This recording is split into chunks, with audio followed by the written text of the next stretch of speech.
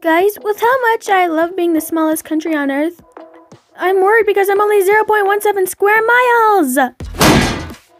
Hey, what the heck? What's with this podium? And why does it say that I'm second instead of first? Yeah, man, Vatican, you can always invade Italy to become bigger. I would invade France, but he forgets I'm alive half the time. Anyway, my total surface area is 0.78 square miles. Oh man, Monaco. That's nothing compared to me. I am 8.108 square miles. Actually, you know what? It's actually not that bad here, but I'm still wondering why the city still says I'm second.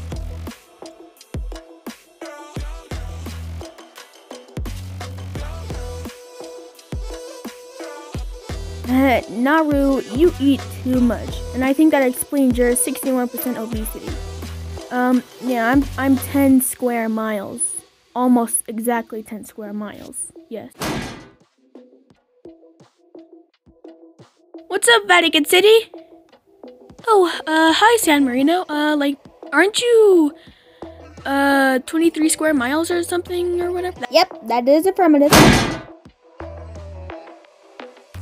Heh, that's nothing compared to me. I am 61 square miles in diameter, er, Er, area.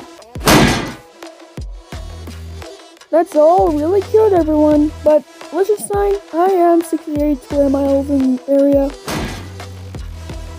Well, as the smallest nation in the Caribbean Sea, I am 100.8 square miles. So close to exactly 100.